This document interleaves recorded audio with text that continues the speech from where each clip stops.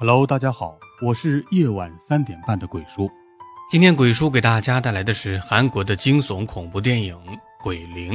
影片的刚开始讲述的是女主写了一篇报道，可这个报道是关于鬼的，所以就被人威胁。为了女主的人身安全，报社决定让女主去躲一躲。女主又一次被人跟踪了，无奈之下只好住进了姐姐小丽的公寓，想要继续完成自己的报道。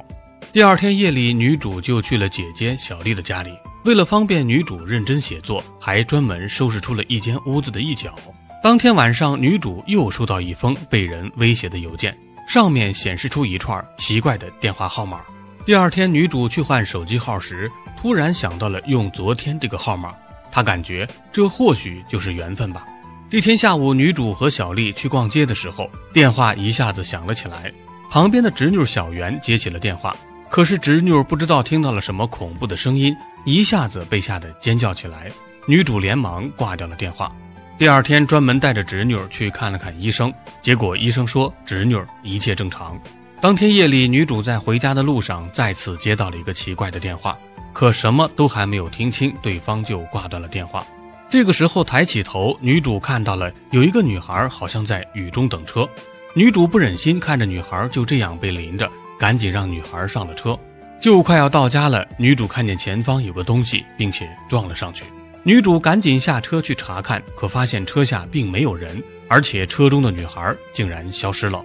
回到家之后的女主精神恍惚，她正要准备收拾收拾自己湿透了的头发，突然看到水管里竟然流出了头发。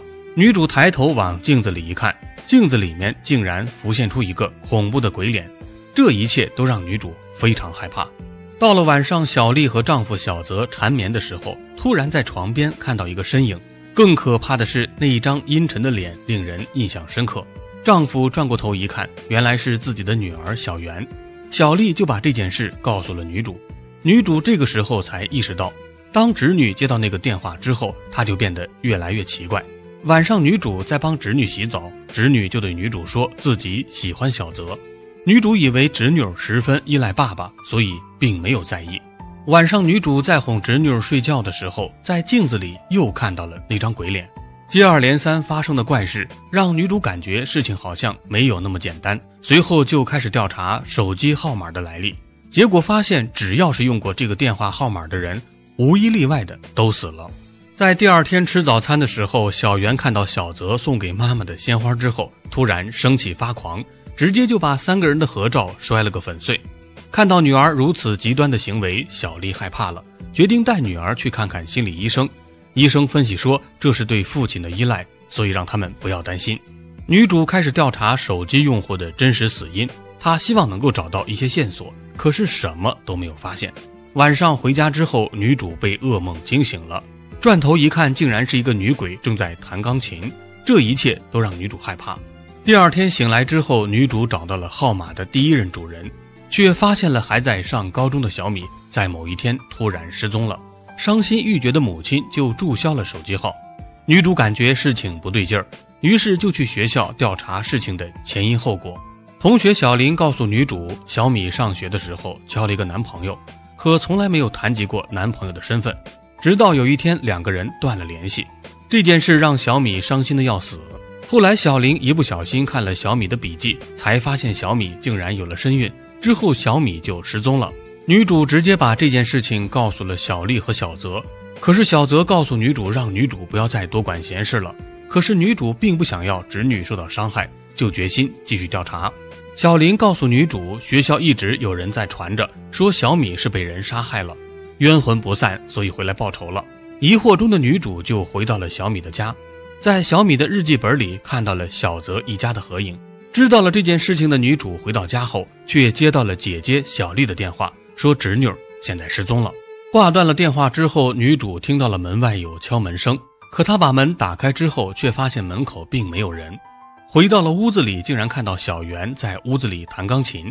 得知侄女是被小米附身之后，女主劝小米不要纠缠小圆，希望她可以放过这个可怜的女孩。可是小圆并没有理会，直接就走上了楼梯。而小丽听到这个事情之后，赶紧去救自己的女儿。女主和姐姐碰面之后，想要赶紧去救救女儿，可是门却被反锁了。两个人就那么眼睁睁地看着小袁从楼梯上摔了下去，两个人赶紧把小袁送进了医院。这个时候，女主想起了小袁从楼梯上落下的那一刻，赶紧回到自己的房间去寻找。回到房间之后，女主的电脑里面出现了那一串号码。女主害怕的想赶紧拔掉电源，却在墙角看到了头发，最后就看到了小米被封在墙里。女主害怕的赶紧往外跑，却突然看见小泽已经死在了走廊里。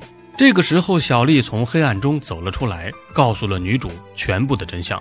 原来，小丽非常喜欢小泽，想要让小米放弃，可小米不愿意。两个人在打斗的过程中，小米不慎摔下了楼梯，小丽就把小米封在了墙里。最后，小米竟然睁开了眼睛，把小丽吓晕了。故事也就结束了。好的，今天的故事就讲到这里。